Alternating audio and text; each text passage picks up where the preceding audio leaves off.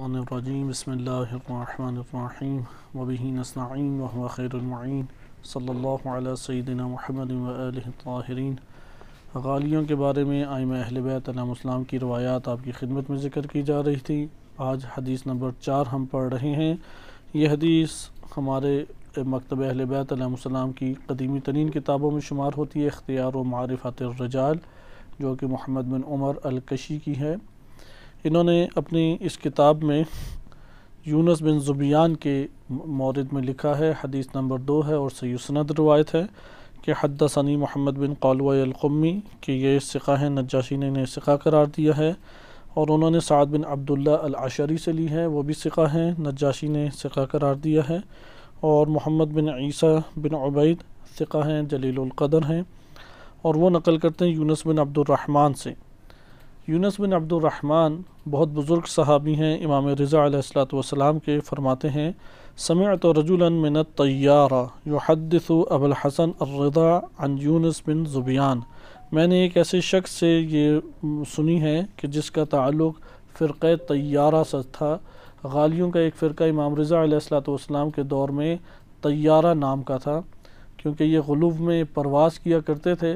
اور بہت زیادہ غلوف کیا کرتے تھے آئمہ اہل بیت علیہ السلام کے بارے میں، تو اس لیے ان کا نام طیارہ پڑ گیا۔ تو یہ جو شخص تھا، یحدث ابو الحسن رضا علیہ السلام، اس نے امام رضا علیہ السلاۃ والسلام کے پاس ذکر کیا، عن یونس بن زبیان، زب، یونس بن زبیان کا تذکرہ کیا اور کہا کہ انہو قال، امام رضا علیہ السلام کے پاس حاضر ہو کے کہا کہ یونس بن زبیان کہتا ہے کن فی بعض اللیالی و انا فی طواف بعض راتیں تھیں، میں بیت اللہ میں خانہ کعبہ میں طواف کر رہا تھا، فَإِذَا نِدَاءٌ مِّن فَوْقِ رَأْسِ تو میرے سر کے اوپر سے ایک آواز، مجھے آسمان میں سر اپنے سر کے اوپر ایک آواز سنائی تھی اور آواز یہ تھی، یا یونس، اے یونس، انی ان اللہ لا الہ الا انا فاعبدنی.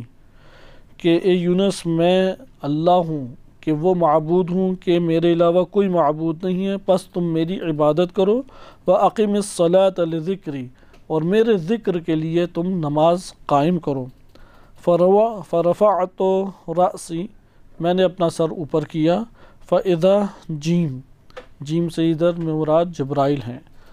تو یا اس سے ایک مراد جو ہے امام رضا علیہ السلاۃ والسلام، ان کی طرف اشارہ ہے۔ یعنی جیم ایک کوڈ ورڈ تھا۔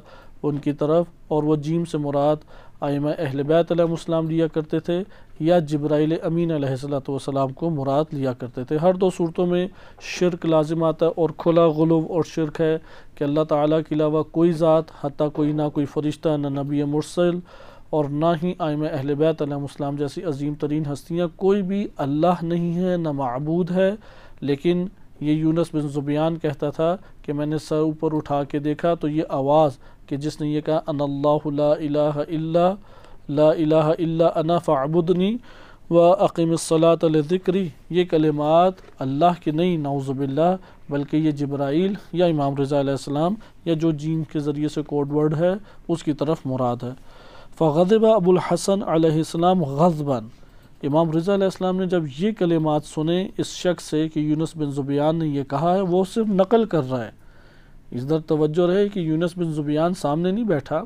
یونس بن زبیان کے بارے میں وہ شخص بتا رہا ہے۔ تو امام رضا علیہ السلام کو اس قدر شدید غصہ چڑھا، لم یملک نفسہ ہو کہ انہیں اپنے غصے کے اوپر وہاں پہ قابو ہی نہیں ہو رہا تھا۔ اس قدر شدید غضبناک ہو گئے۔ ثم قال للرجل، اور اس شخص کو کہا، اخرج عنی لعنک اللہ، کہ اللہ کی تجھ پہ لعنت ہو، یہاں سے نکل جا یعنی دفع ہو جائے یہاں سے باہر نکل جا۔ وَلَعَنُوا لَعَنَ مَنْ حَدَّثَكَ اور جس نے تجھ کو یہ بات بتائی ہے اللہ کی اس پر بھی لعنت ہو۔ وَلَعَنَ یونس بن یونس بن زبیان الف اور یونس بن زبیان پر اللہ کی ایک ہزار لانتے ہوں یتبعها الف لعنہ کل لعنت منہا تبلغ قعر جہنم۔ اور اس ایک ہزار لعنت کے پیچھے پیچھے ایک ہزار اور لانتے ہوں۔ اور ان میں سے ہر لعنت اس کو جہنم کے گھڑوں گڑوں تک اور جہنم کے گہرے کنووں تک پہنچانے والی ہو۔ اش اش، اشہدو میں گواہی دیتا ہوں، ما نداہ الا الشیطان۔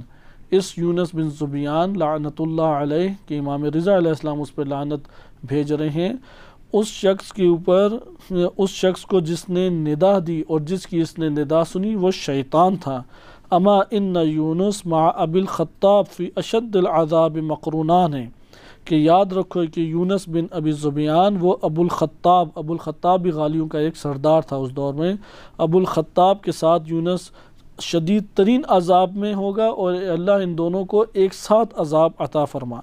و اصحابہما الى ذالک الشیطان مع فرعون و آل فرعون و فی اشد العذاب اور ان دونوں کے جو اصحاب ہیں وہ انہی، اسی شیطان کے ساتھ یعنی یونس بن زبیان کے ساتھ اور اس فرعون اور آل فرعون کے ہمراہوں شیطان فرعون اور آل فرعون کے ساتھ یہ شدید ترین عذاب میں اس کے پیروکار ہوں۔ سمعت ذالک من ابی کہ میں نے اپنے والد سے سنا ہے۔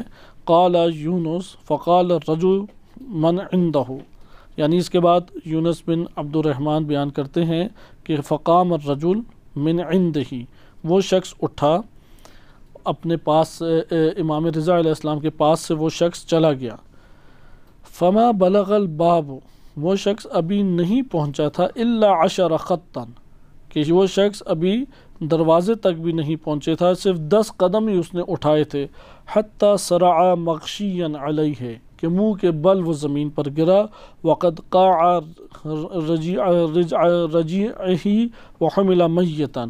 اور اس کے آنتوں میں جو گند بلا، فضلہ وغیرہ تھا، وہ سارا کا سارا باہر نکل آیا اور مر گیا۔ اور اس کی میت کو اٹھا کے لے کے جایا گیا۔ فقال ابو الحسن علیہ السلام، اسی وقت امام رضا علیہ السلام نے فرمایا عطاہ ملکن؟ فرشتہ اس کے پاس آیا بے ید ہی عمود۔ اس کے پاس ایک لمبی سی ڈنڈے کی لوہے یا سخت ترین ڈنڈے کی چیز تھی۔ فضرب اعلیٰ حام مت ہی اور اس نے اس کے سر کے اوپر زور سے اسے مارا ہے۔ ضربتاً اس طرح سے سخت ترین ضرب لگائی ہے۔ قولبہ فی مسانت ہو کہ اس کی آنتے اور مسانے وغیرہ سارے کے سارے الٹ پلٹ ہو کے رہ گئے ہیں۔ حتی قاع رج رجعی رجعی آہو یہاں تک کہ اس کے گند بلا، فضلہ وغیرہ آنتوں سے باہر نکل آیا۔